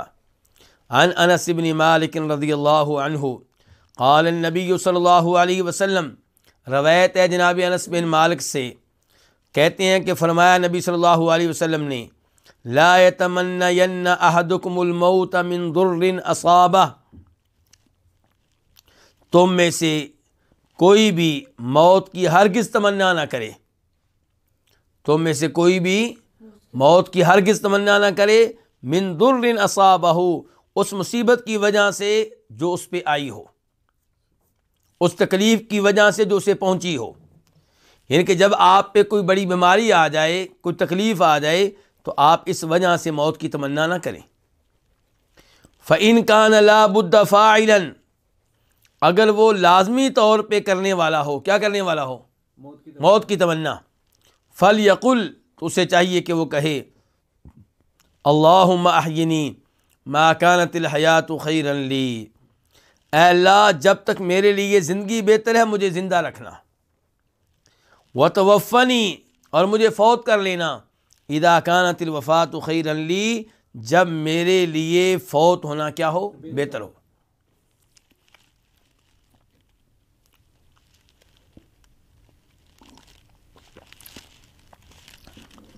तो इसमें मौत की तमन्ना और आरज़ू करने से मना किया गया है। मौत की तमन्ना आप क्यों करें? दुनिया में आपको क्या मसला है जी? जी, आप शदीद बीमार हैं। आजकल तो ऐसी तंजीमें सामने आ चुकी हैं, जिनकी कोशिश है कि ये कानून पास हो जाए कि मरीज़ की मर्ज़ी है ज़िंदा रहना चाहता है रहे, मरना चाहता है तो मरे, उसका हक है। ये तमाम अमूर शरीयत के ख़िलाफ़ हैं। भाई, आप मौत की तमन्ना तब करें जब आपको यकीन हो कि मरने के बाद ऐसे मसायब नहीं होंगे जो अब हैं। अब कैंसर की बीमारी की तकलीफ़ों में मुबतला हूँ और इस किस्म की दीगर मसायब का सामना कर रहा हूँ और आपको पता है कि मरने के बाद मेरे लिए जन्नत मुंतज़र है। रहमत के फरिश्ते मेरा इस्तकबाल करेंगे, फिर आप मौत की तमन्ना करें। लेकिन जब आपको ये पता नहीं है, आपको पता है अपने गुनाहों का, मुझे पता है अपने गुनाहों का तो फिर मौत की तमन्ना किस लिए? हो सकता है कि जिस मुसीबत का हम अभी सामना कर रहे हैं दुनिया में, ये उस मुसीबत के मुकाबले में जिसका कब्र में सामना करेंगे, कुछ भी ना हो। तो बजाय इसके कि आप मौत की तमन्ना करें, आप ज़िंदगी के इन चंद अयाम को जो आपको मिले हुए हैं, अल्लाह से तौबा करने के लिए गनीमत जाने। अल्लाह को रादी करने के लिए गनीमत जाने। जन्नत हासिल करने की कोशिश करें, जहन्नम से दूर होने की कोशिश करें। तो इसलिए सिखाया गया, मौत की तमन्ना ना करें। अगर कुछ करना है तो क्या करें? दुआ करें। दुआ में क्या होगा? दुआ में आप मामला अल्लाह के सबूत कर रहे हैं। ये तमन्ना नहीं है। ये मामला आपने अल्लाह के वाले कर दिया। और आप कह रहे हैं, अल्लाह, जब तक ज़िंदगी मेरे लिए बेहतर है, मुझे ज़िंदा रखना। यानी कि अगर ज़िंदगी मेरे लिए बेहतर है, बेहतर किस लिहाज से? कि मैं और नमाज़ें पढ़ लूँगा, मैं और तलावत कर लूँगा, मैं और असकार कर लूँगा, मैं मज़ीद ला पढ़ लूँगा। मैं मज़ीद नेकियाँ कमा लूँगा। तो अगर ज़िंदगी मेरे लिए बेहतर है तो मुझे ज़िंदा रख। और अगर मेरे लिए फ़ौत होना बेहतर है तो मुझे फ़ौत कर ले। क्या मतलब? अगर इन अयाम में, आखरत के लिहाज से मैं नुकसान उठाऊँगा, मुझसे इबादत नहीं हो सकेगी, बल्कि गुनाह होने का ख़तरा है, दीन के लिहाज से फितने में मुबतला होने का ख़तरा है, फिर या मुझे फ़ौत कर ले। तो मामला किसके वाले कर दिया गया? अल्लाह के वाले अल्लाह बेहतर जानता है मेरे लिए क्या बेहतर है, आपके लिए क्या बेहतर है। उसके बाद हदीस नंबर बारह सौ दस, वन टू वन ज़ीरो, मीम। इस हदीस को रवायत करने वाले कौन से इमाम इमाम मुस्लिम। अन अबी हुरैरा तकाल रवायत जनाब अबू हुरैरा रदी अल्लाह तन से, वो कहते हैं कि फ़रमाया रसूलुल्लाह सल्लल्लाहु अलैहि वसल्लम ने ला तमन्ना अहदुकमुल मौत। तुम में से कोई भी मौत की तमन्ना ना करे। वला यदबिही मिन कबली हो और ना वो इसकी दुआ करे किसकी? मौत की। पहले इसके कि उस पर मौत आए। मौत आने से पहले ना मौत की तमन्ना करें, ना मौत की दुआ करें। तमन्ना और दुआ में फ़र्क क्या है? तमन्ना दिल में होती है। और दुआ ज़बान के साथ होती है। तो तुम में से कोई भी मौत की तमन्ना ना करे और ना मौत की दुआ करे उसके आने से पहले। इन नहू इदा मात आहदुकुम इन अमलो। बेशक बात यह है कि जब तुम में से कोई फौत हो जाएगा तो उसके अमाल मुनक़ हो जाएँगे। अब मज़ीद नेकियाँ उसके रजिस्टर में नहीं लिखी जाएँगी। व इन नहूला यजीदुलमिन उम्र खैरा और बेशक बात यह है कि मोमन की उम्र, मोमन की खैर में इजाफे के अलावा और कुछ नहीं होती। मोमन जो है, मोमन की उम्र मोमन को खैर में बढ़ाने के सबब बनती है। मोमन की उम्र जो है, उसकी वजह से मोमन के नेकियों में मज़ीद इजाफा हो जाता है। यानी कि मोमन के जितने भी अयाम बढ़ेंगे, उसके लिए बेहतर है। अगर वाकई मोमन है तो क्योंकि वो तलावत करेगा, वो अजान सुनेगा, अजान का जवाब देगा, वो दरूज शरीफ पढ़ेगा, वो नफल पढ़ेगा, वो किसी न किसी को अच्छी नसीहत करेगा, अपने बेटों को नमाज़ पढ़ने की नसीहत करेगा, अपने पोतों को कभी सुबहान अल्लाह सिखाएगा, कभी अल्हम्दुलिल्लाह, कभी अल्लाह अकबर तो उसके लिए तो जितने भी याम मिल जाएँ, बेहतर खैर का बायस है। आज हम सुनते हैं कि ख़ुदकुशियाँ बहुत हो रही हैं। ख़ुदकुशियाँ बहुत हो रही हैं। खसूस अदाकारों की तरफ़ से और फ़िल्मों में काम करने वाली अदाकाराओं की तरफ़ से। क्यों? इसलिए कि ये लोग दीन से दूर हैं। इनके पास वो सुकून नहीं है, जो सुकून अल्लाह ताला देते हैं तलावत की वजह से, नमाज़ों की वजह से असकार की वजह से, ईमान की वजह से। और ख़ुदकुशियाँ, खुदकुशियों का एक सबब क्या है कि इनको इस बात का खौफ ही नहीं है कि मरने के बाद आगे क्या होने वाला है। अगर इनका ईमान होता कब्र की ज़िंदगी पे, अगर इनका ईमान होता जन्नत और जहन्नम पे, अल्लाह ताला की ज़ात पे कभी भी खुदकुशी की ज़रूरत ना करते। तो आज लोग सोचते हैं, मीटिंगें होती हैं, लोगों को खुदकुशी से कैसे बचाया जाए? ये लोग जितने भी इलाज तलाश कर लें, कोई भी इलाज कामयाब नहीं होगा, सवाए एक ही इलाज के, वो क्या दीन, इस्लाम, नमाजें असकार तलावत और अल्लाह ताला की याद। आप देखें जिसको ये हदीस मालूम होगी, वो खुदकुशी क्यों करेगा? मौत की तमन्ना क्यों करेगा? कि अल्लाह के सुल फरमा रहे हैं, बात यह है कि जब तुम इसकी फौत हो जाता है तो नेक अमाल का सिलसिला क्या हो जाता है? ख़त्म हो जाता है। और बात यह है कि मोमन को उसकी उम्र खैर में बढ़ाती है। तो इस लिहाज से ज़िंदगी के जितने भी अयाम मिल जाएँ, वो गनीमत हैं और मौत की तमन्ना नहीं करनी चाहिए। अब हम मुंतकिल होते हैं अलफसलसानी की तरफ़।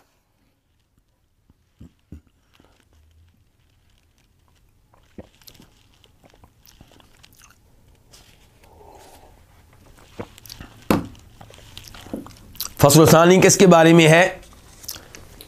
तिब के बारे में। तिब से क्या मुराद है?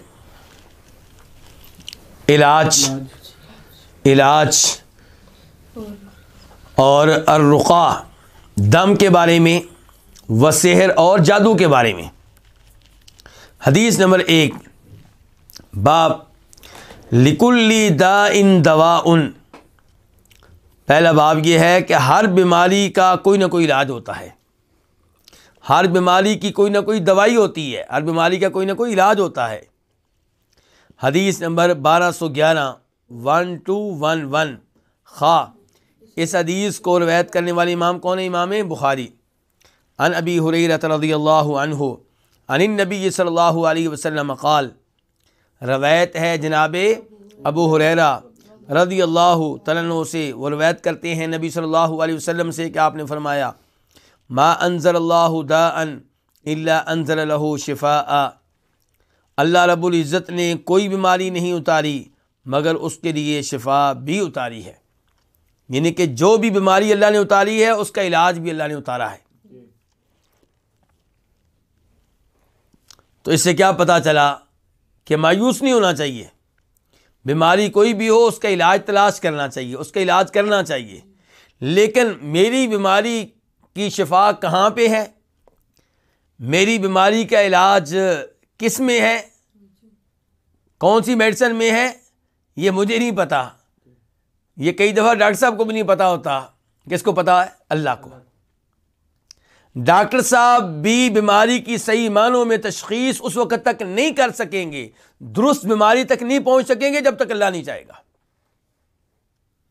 उनके जेन में यह भी नहीं आएगा कि मैं ये टेस्ट करवाऊं। वो दीगर टेस्ट करवाते रहेंगे। लेकिन वो टेस्ट नहीं करवा सकेंगे जिस टेस्ट से मसला हल होना है जब तक अल्लाह ना चाहे। तो इसलिए रबता किससे होना चाहिए? एतमाद डॉक्टर साहब पे नहीं, डॉक्टर साहब तो सबब हैं। एतमाद अल्लाह रब्बुल इज़्ज़त पे। इसबाब आप इख्तियार कीजिए। अच्छे से अच्छे डॉक्टर के पास जाइए। मेडिसिन अच्छी से अच्छी इस्तेमाल कीजिए। लेकिन शफा देने वाला आखिर में कौन है? अल्लाह इज़्ज़त।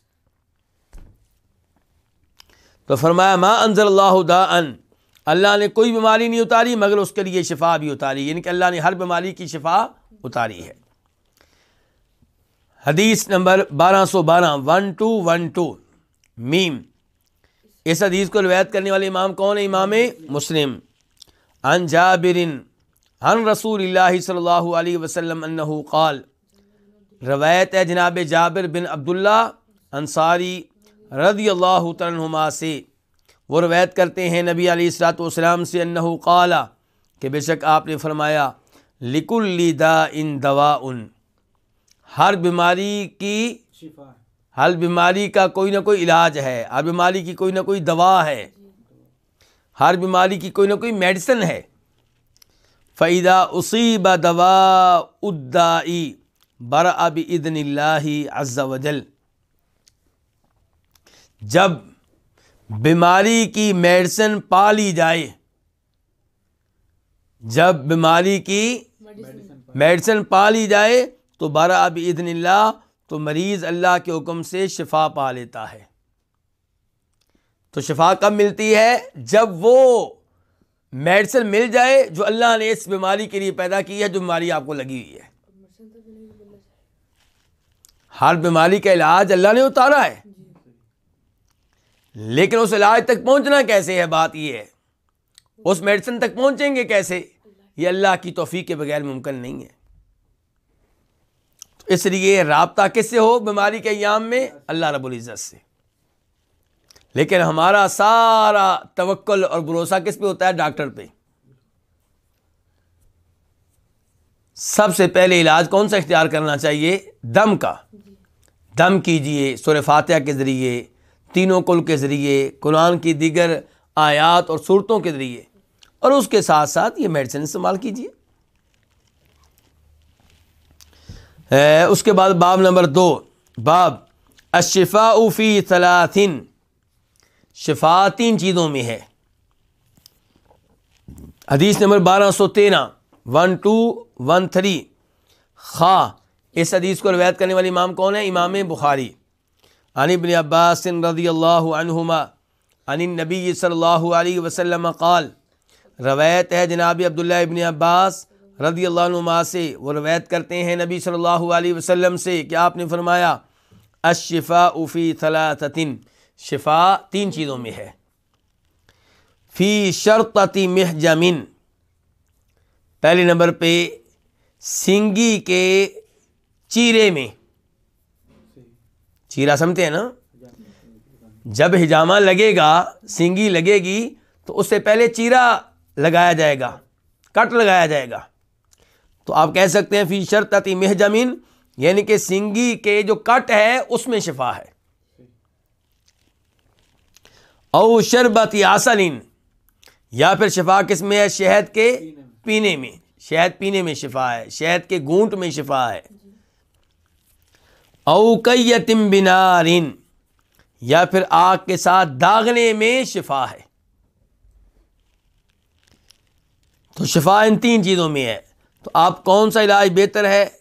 किससे बचना चाहिए? आप फरमाते हैं वह अन अनहा उम्मती अनिल कई और मैं अपनी उम्मत को दागने से रोकता हूँ। उसमें शिफा है। लेकिन फरमाया मैं इस इलाज से आपको रोकता हूँ। तो ये जो आपने रोका है ये तहरीम के लिए है। यानी कि आप क्या बयान करना चाहते हैं कि यह हराम है या आप कहना चाहते हैं कि बेहतर है कि इस इलाज से बचो? अगर आप कहते हैं कि इसका मतलब है कि बेहतर है इस इलाज से बचो तो आप कहेंगे कि ये नहीं जो है, ये तंजीह के लिए है। अगर आप कहते हैं इसका मतलब ये है कि ये इलाज हराम है तो इसका मतलब ये है कि नहीं, हरमत के लिए है, तहरीम के लिए है। तो आप फरमाते हैं, मैं अपनी उम्मत को दागने से रोकता हूँ तो ये नहीं कौन सी है? ये तहरीम की नहीं है। इसका मतलब यह है कि मैं तुमसे, तुम्हें मशवरा देता हूँ कि तुम इस इलाज से बच जाओ। इस इलाज से दूर रहो, लेकिन आपने सख्ती से नहीं रोका। ये नहीं तहरीम के लिए नहीं है, इलाज हराम नहीं है, मकरू है। क्या दलील है इसकी? दलील ये है कि नबी सलाम ने जनाब साद बिन मुआज के लिए इसी इलाज को इख्तियार किया था। तो इसका मतलब यह है कि जब कोई और चारा कार ना रहे तो फिर इस इलाज के इख्तियार करने में कोई हर्ज नहीं है, लेकिन कोशिश की जाए कि किसी और इलाज के ज़रिए आप शिफा याब हो जाएँ और इस इलाज से बच जाएँ। लेकिन अगर कोई चारा कार ना रहे तो फिर इस इलाज के इख्तियार करने में भी कोई हर्ज नहीं है। तो शिफा आपने तीन चीज़ों में फिर बताई है, सिंगी लगवाने में। जी हाँ सिंगी लगवाने में शिफा है और इसकी तरगीब आपने कई एक अहादीस में दी है और ख़ुद आपने कई दफ़ा सिंगी लगवाई है। सिंगी लगवाने से क्या होगा? आपका फासद खून निकल जाएगा, गंदा खून निकल जाएगा। जब गंद निकल जाएगा तो अच्छा खून बाकी रह जाएगा। तो ये तो आम सी बात है, कोई भी समझ सकता है कि इस तरह आपका खून साफ़ हो जाएगा और आप बहुत से अमराज से बच जाएँगे। और शहद पीने में, जी हाँ शहद में भी अल्लाह रब्ज़त ने बड़ी शिफा रखी है। और इसके बाद की जो हदीस है, उससे भी पता चलेगा। उसके बाद बाब नंबर तीन, बाब अतदावी बिलासल शहद के साथ इलाज करना। किसके साथ इलाज करना? शहद के साथ। हदीस नंबर बारह सौ चौदह वन टू वन फोर काफ। इस हदीस के बयान करने पे इत्तेफाक है किसका? इमाम बुखारी का और इमाम मुस्लिम का। अन अबी सईदिन अन रजुल अतन नबी अलैहि वसल्लम फ़काल। रवायत है किससे? जनाब अबू सईद खुदरी रदी अल्लाह तु से।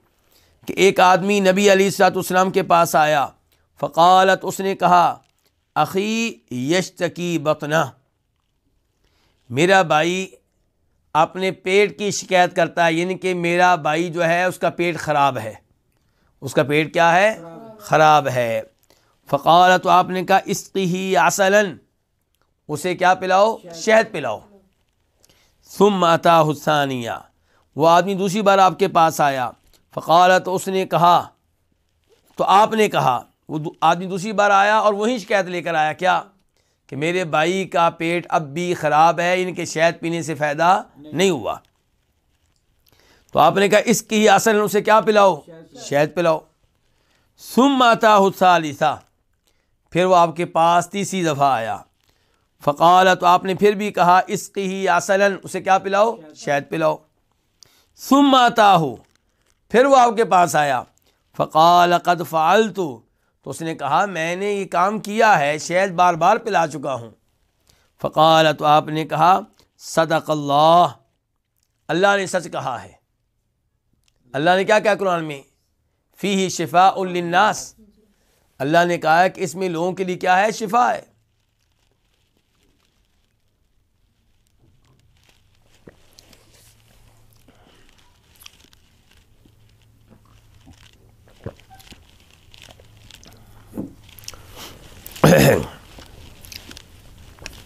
वकदब बतन अखी का अल्लाह ने सच कहा, और तुम्हारे भाई का पेट जो है, वो झूठा है। अल्लाह ने सच कहा है कि इसमें शिफा है, और इसमें शिफा है। तुम्हारे भाई का जो पेट है, वो बता रहा है कि जैसे शिफा नहीं है। तो तुम्हारे भाई का जो पेट है, वो गलत कह रहा है, वहाँ गलती है, वहाँ मसला है। इसकी ही आसनन। इसे क्या पिलाओ? शहद पिलाओ। फसका हो तो उसने फिर पिलाया। फबारा आ तो मरीज़ क्या हो गया? ठीक हो गया। तो देखिए, अल्लाह रब्बुल इज़्ज़त ने क्या कहा है कि शहद में शिफा है। तो इस हदीस से हमें सबक हासिल करना चाहिए। ऐसे ही जमजम में शिफा है। लेकिन हम क्या कहते हैं कि मरीज़ को पलाया, उससे तो कुछ नहीं हुआ। अभी तक कैंसर का मरीज़ है। अभी तक शुगर की बीमारी मौजूद है। और मुसलमान कहते हैं कि इसमें क्या है? शिफा है। इसमें कोई शक शुबा नहीं है कि जमज़म में शिफा है शहद में शिफा है, कलवंजी में शिफा है। लेकिन किस चीज़ को कैसे इस्तेमाल किया जाए तो शिफा मिलेगी, ये एक अलग से इलम है। कितनी मकदार में इस्तेमाल करना है, कब इस्तेमाल करना है, कैसे इस्तेमाल करना है।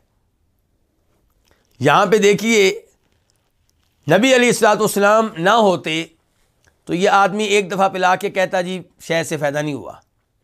जबकि फ़ायदा हो रहा था, फासद मादा बाहर निकल रहा था। एक दफ़ा शहद पिलाने से निकला, दूसरी दफ़ा फिर निकला, तीसरी बार फिर निकला, और बिल आखिर वो ठीक हो गया।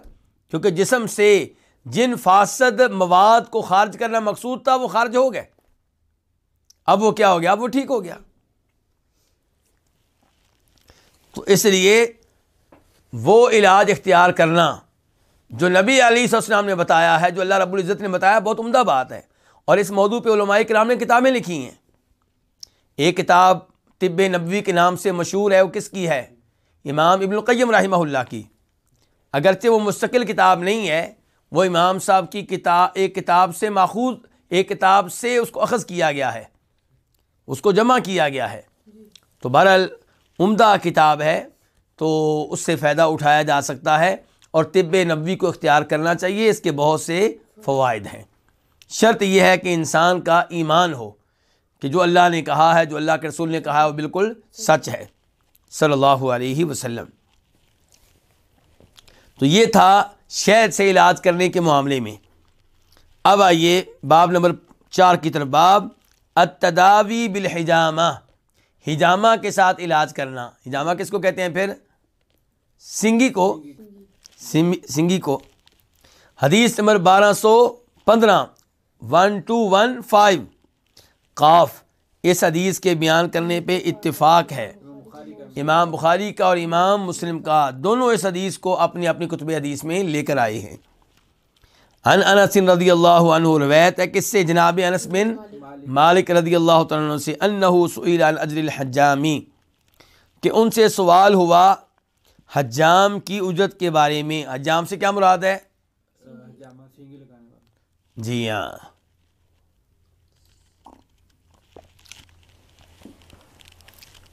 तो हजाम से मुराद सिंगी लगाने वाला। तो आपसे सवाल हुआ किससे? यानी कि अनसिब मालिक से। सवाल हुआ हिजामा लगाने वाले की उजरत के बारे में। सिंगी लगाने वाले की उजरत के बारे में क्या वो हलाल है क्या नाम है? फ़काला तो कहने लगे अनस बिन मालिक एहतजम रसूल अलैहि वसल्लम। नबी अलीसलाम ने सिंगी लगवाई। हाजमहू अबू तैबा आपको सिंगी किसने लगाई? अबू तैबा ने। व आताहु साइन मिन तहामिन और आपने उसको गले के क्या दिए? दो सा दिए। एक सा कितना होता है? यानी कि एक सा किलो के लिहाज से तकरीबन सवा दो किलो आप कह लें अढ़ाई किलो आप एहतियातन कह लें। तो ये पाँच किलो खुदों ने गला आपने दिया। तो हजम अबू तयबा आपको सिंगी किसने लगाई थी? अबू तयबा ने। व आता साइन मिन तामिन, और आपने उसे गले के दो सा दिए। वकल्लम वालियहू और आपने उसके मालकों से बात की। किसके मालकों से? अबू तैबा के मालकों से अबू तैबा जिसने सिंगी लगाई थी। फ़खफ़ू हो तो उन्होंने किन्होंने? मालकों ने। मालकों ने उससे तखफीफ कर दी। किससे? अबू तैबा से इनके अबू तैबा से टैक्स लिया करते थे तो आपने उसकी शफात की तो मालकों ने उस टैक्स में क्या कर दी? कमी कर दी। वकाला, और आपने फरमाया इनके नबी सलाम ने इन अम सलमात दावई तुम बिही अलहजामा वलकुस्तुलबहरी कि सबसे अफजल वो चीज़ जिनके साथ तुम इलाज करते हो तुम जिन जिन चीज़ों को बतौर इलाज इस्तेमाल करते हो, इख्तियार करते हो, उनमें से अफजल तरीन चीज़ें कौन सी अलहजामा। एक किसका नाम लिया आपने? हिजामा का। यानी के सिंगी लगवाना। और दूसरे नंबर पर वलकुस्तुल बहरी। दूसरे नंबर पे क्या है? कुश्ते बाहरी। कुश्ते बाहरी का एक नाम क्या है? कुश्ते हिंदी। ये क्या होती है? ये असल में लकड़ी होती है, बल्कि लकड़ी की जड़ होती है। और इसे लाया जाता है कहाँ से? आमतौर पे हिंदुस्तान से। तो ये हिंदुस्तान से भी मिलती है और समुद्र से भी मिलती है। तो इसको, अगर इसको इनके पीस लिया जाए और पाउडर बना लिया जाए और ये पाउडर कहाँ डाला जाए? नाक में डाला जाए। तो ये बहुत से अमराज के लिए मुफीद है। और ये भी मुमकिन है कि आप इस पाउडर में तेल मिला दें या पानी मिला दें। तो फिर वो शक्ल इख्तियार कर लेगी किसकी? साइल की। पानी की शक्ल। तो फिर आप उसको नाक में डालें। तो ये इस लिहाज से भी मुफीद है। तो आपने फरमाया इन अम सलमातदावई तुम भी जिन जिन चीज़ों के साथ तुम इलाज करते हो, उनमें से अफजल तरीन चीज़ कौन सी है? अलहिजामा। वलकुस्तुल बहरी और कुश्ते बहरी। बहरी का मतलब क्या होता है? समुद्री। और इसका दूसरा नाम क्या? कुश्ते हिंदी। वक़ाल, और आपने फरमाया, ला तुअदबू सबियानकुम बिलगमजी मिनलउदरा वालेकुम बिलकुस्ती। अपने बच्चों को अजाब ना दो। कैसे बिलगमजी उन्हें, उनके तालू दबाकर? अपने बच्चों को उनका तालू दबाकर अजाब और तकलीफ़ ना दो। मिनल उदराती हल्की बीमारी की वजह से। जब उन्हें हल्की बीमारी लग जाए तो तुम उनके तालू को दबा कर तालू आप जानते हैं ना ऊपर अंदर ऊपर होता है। तो उनके उनके तालू को दबा कर उन्हें तकलीफ़ ना दो अजाब ना दो। वालेकुम बिलकुस्ती और तुम किसे इख्तियार करो? कुस्ते बाहरी को इख्तियार करो कुस्ते हिंदी को इख्तियार करो। यानी कि बच्चों का ये जो मसला है हल का मसला तो इसमें बजाय इसके कि तुम तालू दबा उनके तालू को दबा कर उनको तकलीफ़ दो तुम ये इलाज क्यों नहीं इख्तियार करते? कौन सा? कुस्ते हिंदी वाला, कुस्ते बाहरी वाला, ये बेहतरीन इलाज है। तो आप अलीसम ने इस इलाज की तरफ़ तरगीब दी है। और बरल बाब से क्या तल्लुक़ है? वो हिजामे का। क्योंकि इसमें हिजामे का भी आया है और आपने कहा है कि बेहतरीन इलाज वो क्या है? हिजामा और कुश्ते बाहरी। अब देखेंगे सब चीज़ें तिब नबी में शुमार होंगी। नबी इस्लाम की तरफ़ से जो इलाज बताया गया, उसमें शुमार होंगी। क्या? कुश्ते बाहरी, हिजामा शहद और जब मजबूरी बन जाए तो दाग लेना जिसम को। ये सब। उसके बाद बाब नंबर पाँच।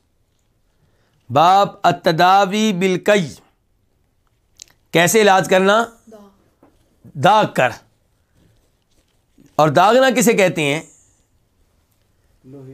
यानी कि लोहा गर्म करके उसके ज़रिए किसी जगह से कोई जिसम का हिस्सा काट देना, उसको लग कर देना। तो ये क्या है? ये है दागने के ज़रिए इलाज। तो इस हदीस को रवायत करने वाले इमाम कौन से? इमाम मुस्लिम। हदीस नंबर बारह सौ सोलह, वन टू वन सिक्स। अन जाबिर रदी अल्लाह क़ाल बासा रसूल सल्लल्लाहु अलैहि वसल्लम उबई बिन काब तबीबा। नबी अली सलाम ने उबई बिन काब की तरफ़ भेजा किसको?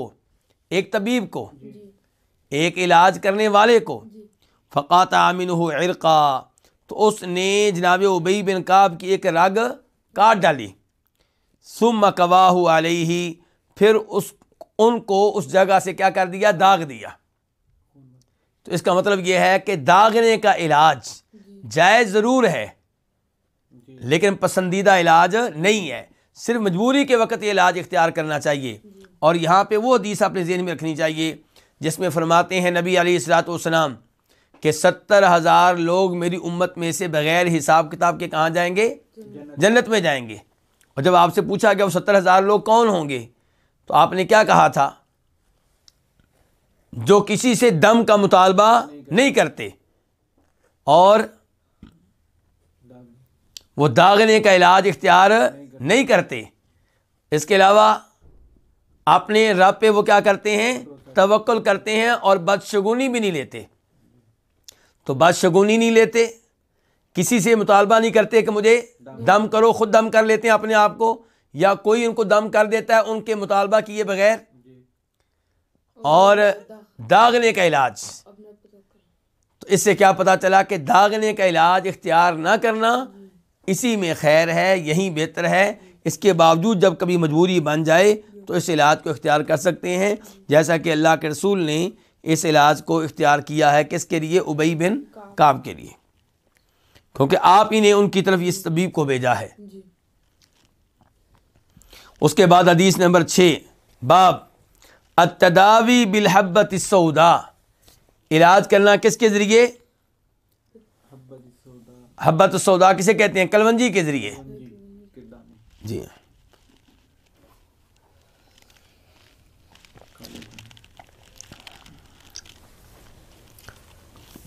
लफ्ज़ी माना यह है कि इलाज करना काले दाने के ज़रिए मुराद क्या है? कलवंजी के दाने। हदीस नंबर बारह सौ सत्रह वन टू वन सेवन काफ, इस हदीस के बयान करने पर इतफ़ाक़ है किसका? इमाम बुखारी का और इमाम मुस्लिम का। अन अबी रहता रवायत है जनाब अबू हुरैरा रदी अल्लाह तु से समी रसूल अल्लाह अलैहि वसल्लम यकूल कि उन्होंने नबी अली सलाम से सुना कि आप फरमा रहे थे फ़िल हब्बत सऊदाई शिफा उमिन कुल्ली दामिन दा इन इल्लसाम काले दाने में कलवंजी में शिफा है। किससे शिफा है? हर बीमारी से। हर बीमारी का इलाज काली कलवंजी में है। हर बीमारी के लिए शिफा काल कलवंजी में है काले दाने में है। सवाए साम बीमारी के। सवाए किस बीमारी के। साम बीमारी के।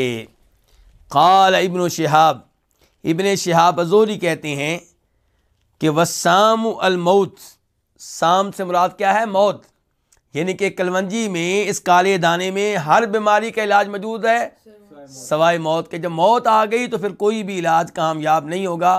फिर ना कलवंजी फ़ायदा दे सकेगी, ना शहद फ़ायदा दे सकेगा, ना दागना काम आएगा और ना ये कुश्ते हिंदी काम आएगी, ना कुश्ते बाहरी काम आएगी, फिर कोई भी चीज़ काम नहीं आएगी। जी हाँ जब अल्लाह ताला ने मौत का जो वक़्त मुकर कर दिया है, वो आ गया तो अब कोई भी चीज़ उस मौत को एक लम्हा के लिए भी लेट नहीं कर सकेगी। वली वक़ीर अल्लाह नफसन इदा जा अजलहा, वल्लाह खबीर बिमा तामलून तो इबन शहाब जहरी कहते हैं वसाम मौत शाम से मुराद क्या मौत? वलहबतुसौदा और हब्बतुसौदा का तारफ़ करवाते हुए कहते हैं अशोनीज़ हब्बतुसौदा क्या है? शोनीज़। वही कलवंजी। तो यही मुराद है इससे। तो कलवंजी को बहरहाल इस्तेमाल करना चाहिए। जो समझदार लोग हैं, वो मुख्तलफ़ अपने खानों में इसका कसरत से इस्तेमाल करते हैं। बस यहाँ पे भी मसला वही है कि ज़्यादा फ़ायदा कलवंजी से वही उठा सकेगा, जिसको पता होगा कि इसको कब, कितनी मकदार में और कैसे इस्तेमाल करना है। और किस मरीज़ के लिए किस इंसान के लिए ये कौन सा तरीका मुफीद है? ये भी फ़र्क होता है। एक आदमी से दूसरे आदमी तक एक, इंसान से दूसरे इंसान तक फ़र्क होता है किसके लिए कितने दाने और किसके लिए कब कलवंजी मुफीद होगी। तो बहरहाल इसमें भी शिफा है और ये इन ये गारंटी है किसकी तरफ़ से? नबी अली सलाम की तरफ़ से और हम में से हर एक का इस पे ईमान होना चाहिए। अगर कोई इन चीज़ों पे ईमान नहीं लाता जो आपने बताई हैं। अगर कोई ईमान नहीं लाता तो वो उसका ईमान ख़तरे में पड़ जाएगा। उसका इस्लाम ख़तरे में पड़ जाए, पड़ जाएगा। क्योंकि हमने आपको रसूल माना है और हम मानते हैं कि आपकी एक एक बात अरफ़ आखिर है। हम मानते हैं कि वायंतवानिल हवा, आप अपनी मर्ज़ी से बात नहीं करते, इन यूहा, आप जो बात करते हैं वो वही होती है और वही पे मबनी होती है। तो अल्लाह रब्ज़त से दुआ है कि अल्लाह रब्ज़त नबी सलाम की इन हदीस पे सही मानों में अमल करने की तोफ़ी बख्शे और इन्हें समझने की तोफ़ी नहायत फरमाए मुआरे में इन्हें आम करने की तोफ़ी नहायत फरमाए। इन आपके दुरुस्त का सिलसिला जारी और सारी रहेगा। आज इजाज़त चाहता हूँ आपसे इस दुआ के साथ कि अल्लाह ताला आप लोगों के रिज़क में, आप लोगों की औलाद में, आप लोगों के माल में, आप लोगों के रिश्तेदारों में बरकतें डाले। आप लोगों की सेहत में बरकतें डाले, आप लोगों की परेशानियाँ दूर फरमाए और जितने भी हमारे ऐसे मुसलमान भाई हैं, जिनके पास जॉब नहीं है, मुलाजमत नहीं है, काम नहीं है, अल्लाह ताला उनको काम दे, उनको मुलाजमत दे और जिस जिसको अल्लाह ने माल दिया है, उन्हें अपनी अपनी ताकत के मुताबिक अपनी राह में ख़र्च करने की तोफ़ी दे। अल्लाह करे कि हम ये दौरा खैर सलामती के साथ मुकम्मल करें और इसके बाद दीगर दौरों में भी शरीक होते रहें। अल्लाह हमें मौत दे, इस हाल में दे कि हम दीन के तालब इम हों, दीन सीख रहे हों, या हदीस का दर्स ले रहे हों, या तफसीर का दर्स ले रहे हों, और अखलास के साथ ले रहे हों। अल्लाह ताला हमारा कहना, सुनना, कबूल फ़रमाए। व आखदावाना अलहमदिल्ला रबालमीन